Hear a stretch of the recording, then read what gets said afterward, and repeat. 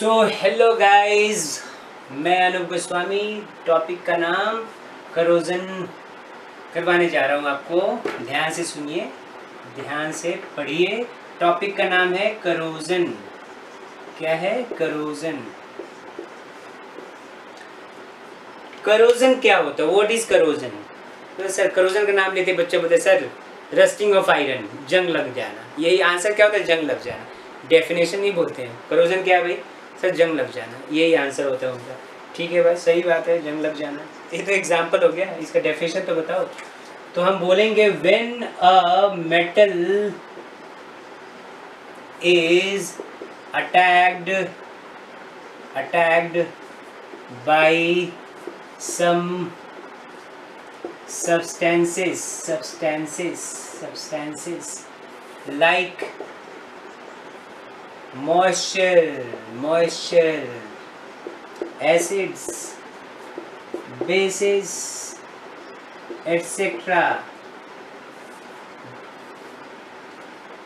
then the metal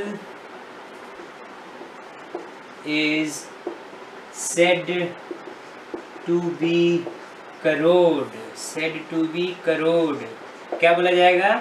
जब किसी भी मेटल को मॉइस्चर एसिड्स बेसिस जैसे सब्सटेंस अटैक करते हैं तो उनका जो सरफेस होता है रफ हो जाता है, बिगड़ जाता है। मतलब करोड़ हो जाता है। उसी चीज़ को बोलते हैं करोड़ हो गया। And the process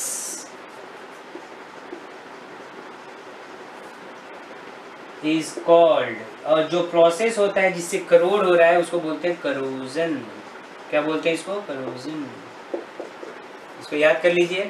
यही डेफिनेशन आपको टेप के आना है। पूरा रट ला, रट मार लो, रट्टा मार लो मगअप कर लो। बहुत इंपॉर्टेंट है। करोजन क्या होता है? तो जब किसी मेटल सरफेस को कोई भी substance like acids bases moisture ठीक है, ये सब अटैक करते हैं तो उसके सरफेस को रफ बना देते हैं, बिगाड़ देते हैं। ठीक है? उसको डिस्टर्ब कर देते हैं उसके सरफेस को। दैट इज़ कॉल्ड करोड कर देते हैं। इसी प्रोसेस को हम करोजन कहते हैं।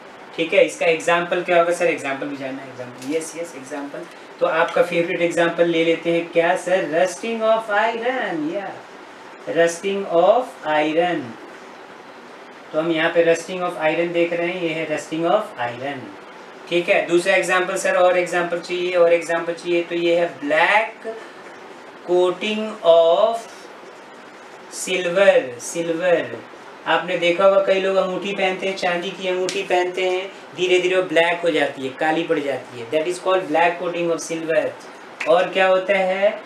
Green coating of green coating of green coating of copper yes copper copper green coating of copper जो पुराने तांबे के बर्तन होते हैं, आपको पता है, पहले लोग तांबे के बर्तन का यूज़ करते थे।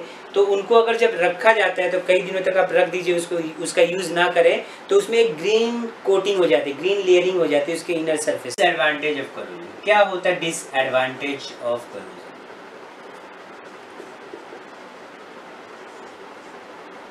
disadvantage of corrosion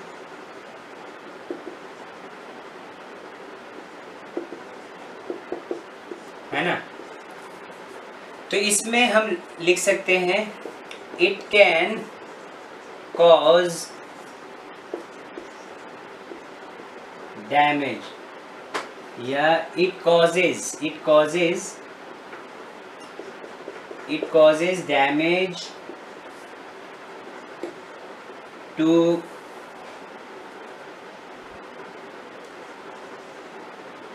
car bodies car bodies को कर सकते हैं। आयरन रेलिंग्स है ना? आयरन रेलिंग्स को कर सकते हैं ब्रिजेस को कर सकते हैं ब्रिजेस है ना? Ships and other objects made up of metals ठीक है? समझ में आ गया? तो डिसएडवांटेज ऑफ़ कोरोजन क्या है?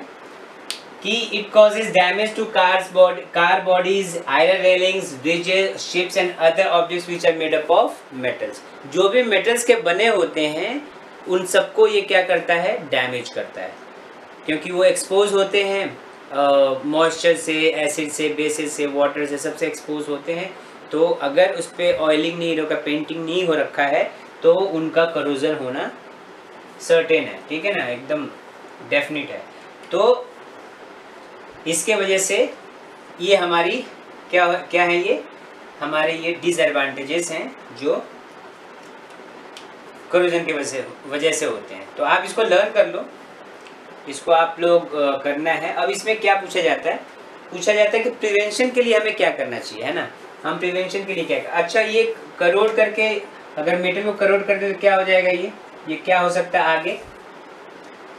इट वीकेंस द मेटल मतलब ये सबको डैमेज कर देते हैं। कैसे कर देते हैं? अगर डैमेज करने के बाद हम जानते हैं कि हमारा जो गवर्नमेंट है, सबसे ज़्यादा पैसा किसके ऊपर खर्च करता है? इन सब चीज़ों के ऊपर खर्च करता है। अगर कोई भी चीज़ बनानी है, जैसे मान लो ब्रिजेस बनानी है ब्रिजेस अगर करोड़ हो गया तो इसमें सबसे ज़्यादा पैसा लगता है ना? तो जो गवर्नमेंट के जो भी हम टैक्सेस पे करते हैं, वो वो सारे के सारे पैसे इन्हीं सबको दोबारा ठीक करने में लगा देती है। इसलिए इसको प्रिवेंट करने के लिए हमें क्या करना चाहिए? तो प्रिवेंशन के लिए हमारे पास है, चलिए हम प्रिवेंशन के बारे में पढ़ लेते हैं।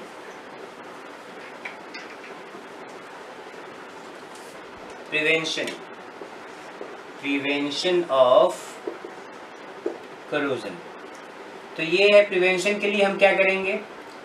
सबसे फ़ेमस सबसे बेस्ट है पेंटिंग हम पेंटिंग कर सकते हैं, हम ऑयलिंग कर सकते हैं, हम ग्रीसिंग कर सकते हैं, है ना? ग्रीसिंग हो गया गैल्वनाइजेशन हो गया गैल्व गैल्वनाइजेशन एनोडाइजिंग है ना? एटसेट्रा क्रोम प्लेटिंग बहुत सारे हैं. ये सारे के सारे हम कर सकते हैं कोरोजन को प्रिवेंट करने के लिए. तो ये पूछा जा सकता है। तो ये जो टॉपिक है इसमें हमने पढ़ा कि करोजन क्या है व्हाट इज़ करोजन तो जब किसी भी, भी मेटल सरफेस को मॉइस्चर एसिड और बेसिस लाइक सब्सटेंस अटैक करते हैं तो उसका जो सरफेस होता है मेटल का वो क्या होता है रफ हो जाता है। जैसे उस उस रफनेस को ही हम बोलते हैं करोड़ हो जाता है। ठीक है? At that process is called corrosion corrode होने के प्रोसेस को हम क्या बोलते हैं करोजन बोलते हैं। और उसके बाद हमने देखा कि ये क्या क्या डैमेज करता है।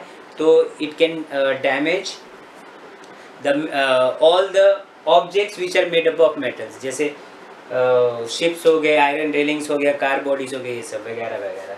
ये सब करते हैं। इसको रोकने के लिए हम क्या कर सकते हैं? इसको रोकने के लिए हम पेंटिंग कर सकते हैं। सबसे बेस्ट है oiling greasing galvanization anodizing etcetera ये सारी चीज़ें हम कर सकते हैं रोकने के लिए। ठीक है? तो ये हमारा एक टॉपिक हो गया। अब इसका अगला जो टॉपिक है वो है एनसीईआरटी का सबसे last topic that is called rancidity ठीक है? तो आइए हम चलते हैं। सो so, टॉपिक क्या है हमारा? रेंसिडिटी रेंसिडिटी होता क्या है? सबसे पहले समझ लेते हैं। रेंसिडिटी हमने देखा है कि जब हम खाना जिसमें हम ऑयल्स एंड फैट्स का भी यूज़ करते हैं अगर खाने को हम बाहर छोड़ के चले जाते हैं खासकर गर्मी के दिनों में तो आफ्टर सम टाइम उसका जो स्मेल होता है उसका जो टेस्ट होता है वो चेंज हो जाता है। है ना? अगर हमने उसको रेफ्रिजरेटर में नहीं रखा, भूल गए, बाहर में छोड़ के चले गए तो after some time after four और फाइव आवर्स क्या होता है, उसका जो स्मेल होता है उसका जो टेस्ट होता है, वो चेंज हो जाता है। ठीक है? That condition is called rancidity तो वही यहाँ पे मैंने लिख रखा है when oils and fats are when oils and fats present in the food are oxidize they turn rancid वो रैंसिड हो जाते हैं and their smell and taste their taste and smell change ठीक है? दिस इज़ कॉल्ड रेंसिडिटी हम आप ऐसे भी लिख सकते हैं कि the oxidation of oils and fats present in the food which change the taste and smell of the food ठीक है? जो क्या होता है कि जो भी ऑयल्स एंड फैट्स प्रेजेंट होते हैं फ़ूड के अंदर, उसका क्या हो जाता है? ऑक्सीडेशन हो जाता है। जिसकी वजह से जो फ़ूड का जो टेस्ट होता है और जो स्मेल होता है, वो चेंज हो जाता है। ठीक है? दैट इज़ कॉल्ड रेंसिडिटी हम या उसको रेंस रेंसिल बोल सकते हैं। यहाँ पे मैंने रेंसिल लिखा, वो क्या हो जाता है? रेंसिल हो जाता है। रेंसिल का मतलब ये है bad taste and bad smell ठीक है? अब इसका प्रिवेंशन जान लेते हैं। प्रिवेंशन क्या है? तो अगला टॉपिक है प्रिवेंशन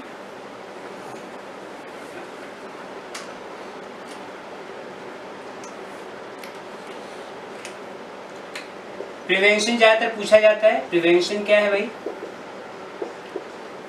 तो सबसे फ़र्स्ट प्रिवेंशन है by using antioxidant antioxidant oxidants ठीक है? हम एंटीऑक्सीडेंट्स यूज़ करके हम इसको प्रिवेंट कर सकते हैं।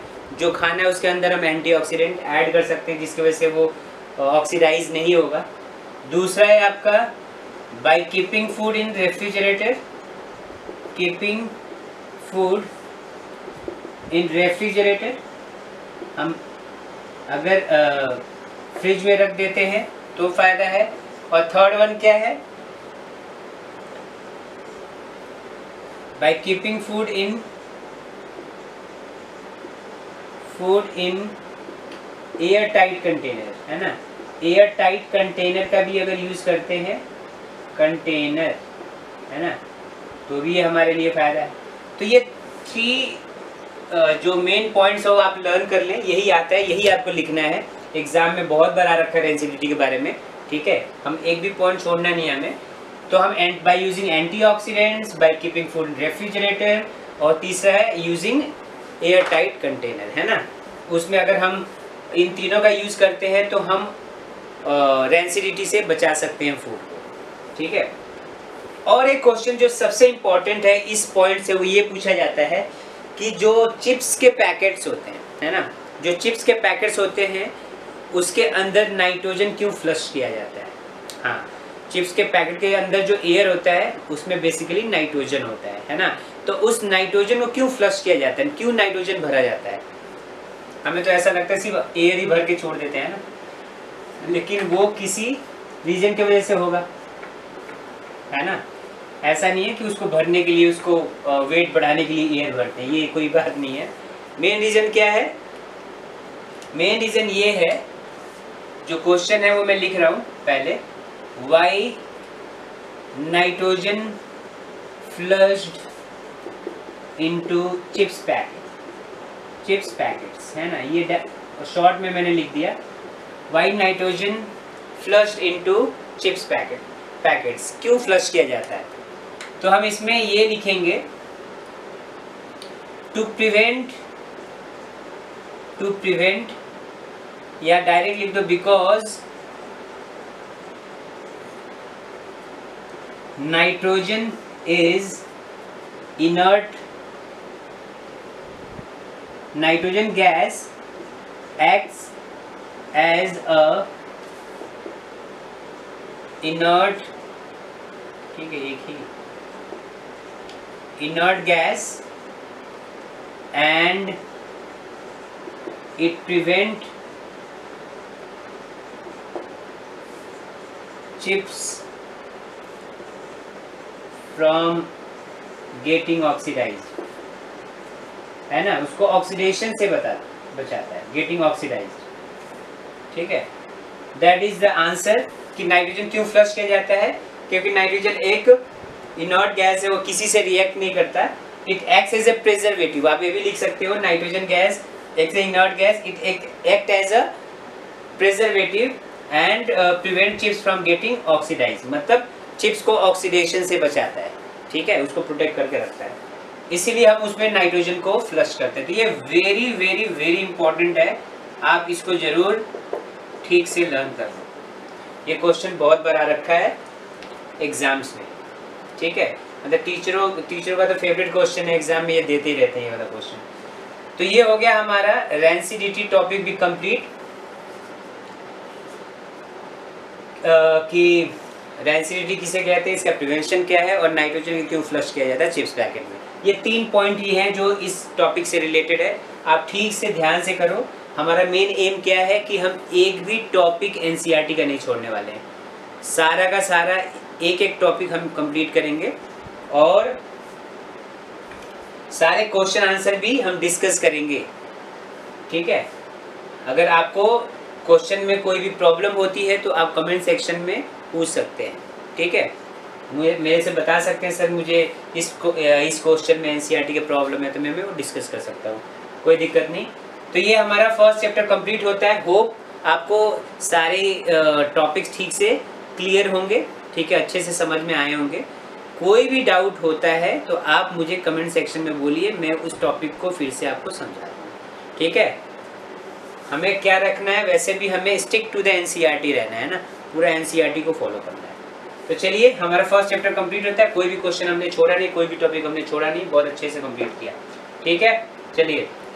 अब हम आगे बढ़ेंगे next chapter that is called acids bases and salts की तरफ़। ठीक है? हमारा दूसरा चैप्टर वो है। Okay thank you